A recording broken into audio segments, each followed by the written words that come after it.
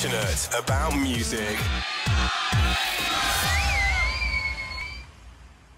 How exciting now. Uh, Debbie, I would say we've got one of life's go getters here. Ooh, I He's like an inventor, an entrepreneur, a multilinguist, and also novelist and writer of the sci fi thriller The Looking Glass Club. Gruff Davies, welcome to Gaydar. Thank you very much for having me. We're also described uh, in Bent magazine as hunky gay author. and we can verify that, You're can't going to make me blush. Hunky.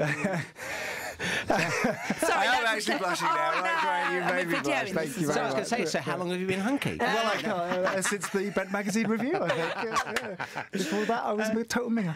So, uh, well, no, what, so where are you from? Where did you start? What's tell us about you? Well, uh, where did I start? Um, uh, in terms of writing, I started uh, back in 1999, and I was uh, just starting to become an entrepreneur as well at that time, and uh, had some uh, beginner's luck. I sent a, a story that I'd written to. Uh, I actually took it to an agent, a, a signing of another author, and um, I know that's exactly what she said. She said, "Cheeky, I like it," Yeah. and wrote to me a week later and said, uh, "I think it's great. What else have you done?" Gave us some other stuff. Uh, she said, "We really like that as well. Why don't you come in and talk about your writing career?" And then um, I got sort of swept into a company that I'd started, uh, an, an invention of an exercise bike uh, that combined computer games with exercise to make exercise addictive. And and so I stopped writing for a while, and also I I, I tried to write a, a full novel, and she didn't like that, Oh, and was very very very very blunt about it, which is great. That's the kind of feedback that you need. Yeah. Um, and uh, and then when we closed this company that I'd started, unfortunately, in 2004, and I went back to writing seriously because I thought, you know, I was sort of licking my wounds a little bit as an entrepreneur, and uh, started writing the Looking Glass Club, and took it back to her a few years later, and she said, "I love it. I think it's a corker." And now we've got it And you do Yeah, have I'm- I'm copies getting in your very hands. Oh my goodness! So- You've already made my brain melt. on the back cover, right? Are you ready to have your brain melted now? go on, yeah, shoot, go on. If we agree we perceive something, is it real? What? Is it real? Let that soak in. If we agree we perceive something, is it real? My head hurts. And that is exactly what the book is about. It's about the boundary between perception and reality. So I wanted to uh, explore this fuzzy area between because you kind of if you look around the room r- right now, Rather not. You- well, you, we're fine to look at you, but at each other. you assume that everything you're seeing is being seen by the other people in the room, right? And Yeah. you don't, but you don't know that. I mean, you assume that you can see this little globy world here, and you can assume you can see the lip salve here. But but what if you said you saw something and I disagreed and said I can't see that? You'd start to question what's real. or What's Oh, is it? Imagine so, and that's exactly what the book is about. It's uh, and it uses uh, the conceit of a drug that causes shared hallucination. So, a group of university students discover this drug that starts to cause them to have the same trip rather than individual trips. Oh my goodness.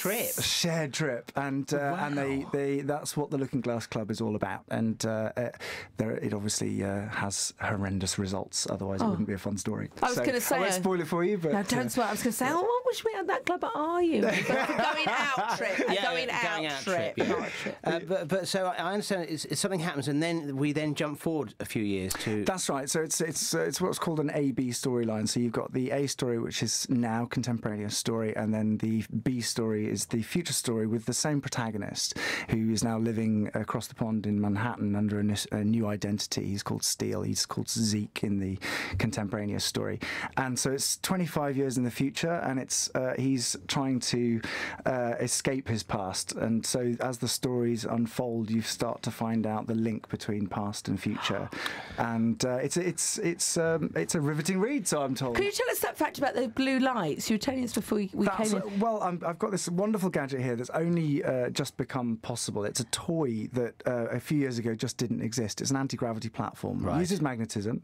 to levitate objects, and we're giving one of these away um, for the Puzzle 28. So on a, in the draw on Tuesday, I'll be giving one of these away as well as another prize.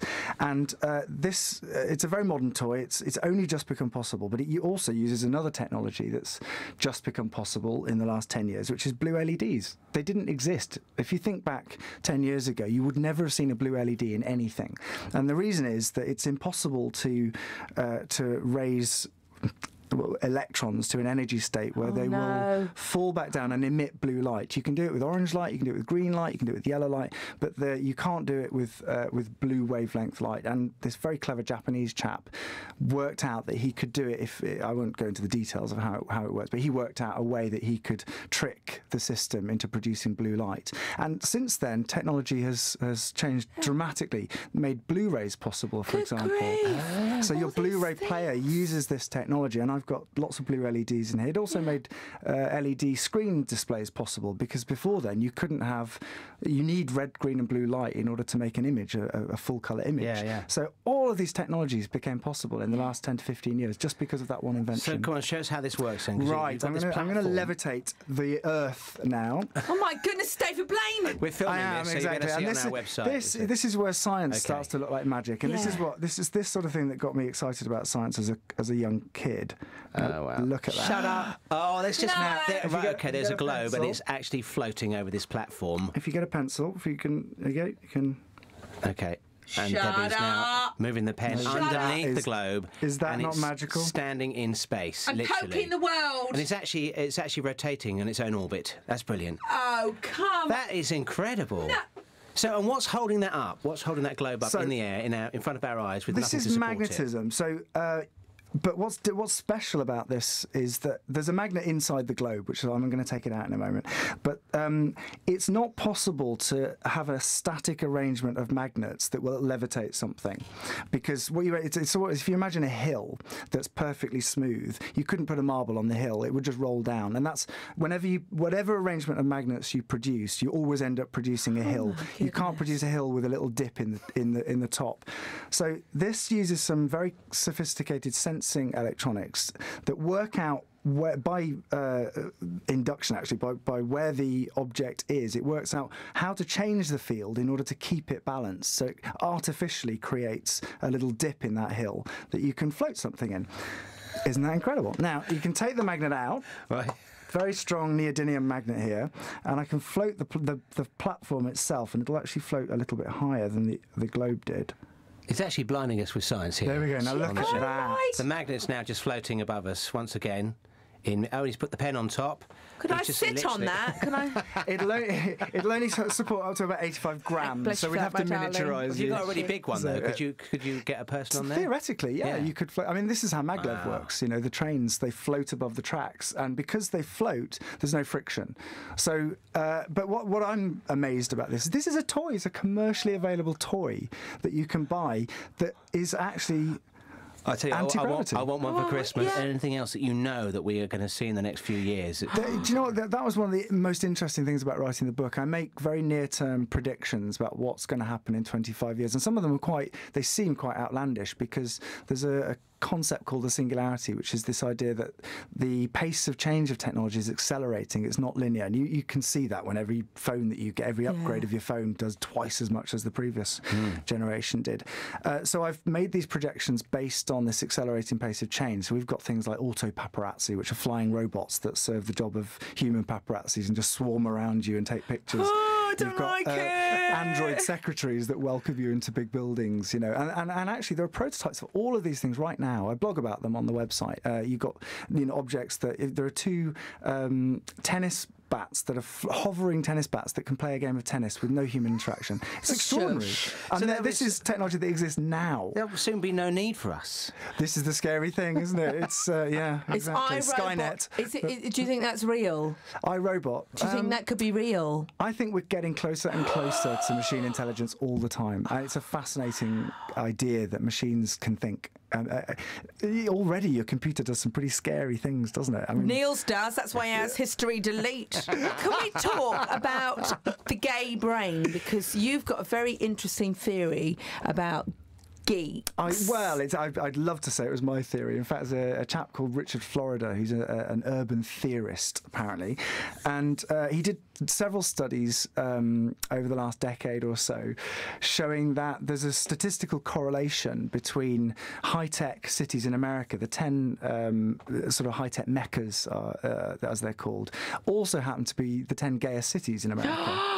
and he's, he's exploring the, the link between gay geeks and uh, and economic prosperity as well. So there, there is now statistical correlation doesn't mean that one causes the other. It shows that they're linked somehow.